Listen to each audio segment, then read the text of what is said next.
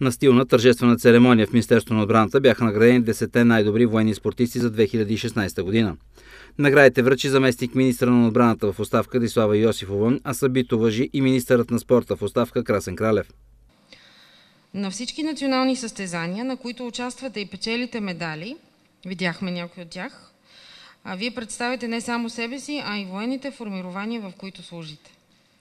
Искам да подчертая, че за успехите на нашите военни спортисти водеща роля има Националната военна спортна федерация, която работи активно за развитието и утвърждаването на масовия армейски спорт, като с всяка изминала година увеличава военните спортни клубове и техните членове.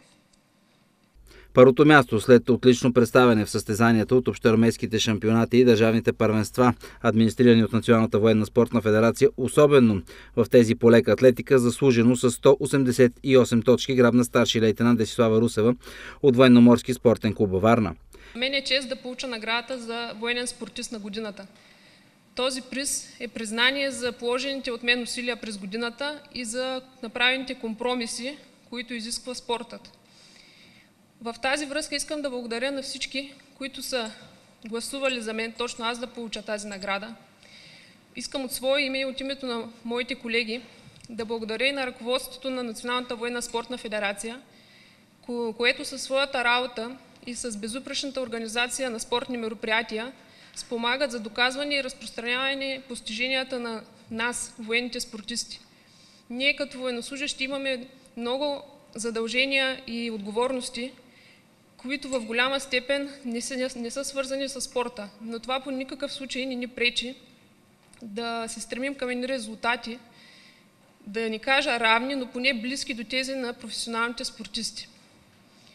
Благодаря също така и на своите командири и на ръководството на Военноморски спортен клуб Варна за подкрепата и готовността за оказване на съдействие във всеки един момент – на второ място остана миналогодишният първенец капитан Илия Куцаров от военен спортен клуб Стрямци с актив от 187 точки. Честито второ място в класацията военен спортист на 2016 година. Доволен ли си от постигнато през годината? Да, доволен съм. Първото място е на Деси, която показа изключително добри резултати на Държавното първенство по лека атлетика в Сливен, като взе всички златни медали, което си е едно, едно сериозно постижение и тя наистина заслужава това, тази награда. Знам колко е тежка дисциплините в леката атлетика и да вземеш всички златни медали на всички дисциплини е едно голямо геройство. Моето представане като второ място е съм доволен. Най-доволен от всичко, което съм постигнал през тази година е държавната ми титла на маратона. На Софийския маратон станах първи и станах републикански шампион, което за мен дори беше изненада. Престижното трето място с 114 точки остана за курсант млад сержант Стефан Личовски от военно-университетски спортен клуб Василевски Велико Търново.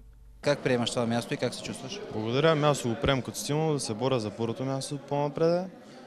Искам да благодаря на Министерството на отбраната и на всички хора, които организират тези състезания и тук церемонията, защото това е вид стимул и възнаграждение на спортисти, които за положения труд.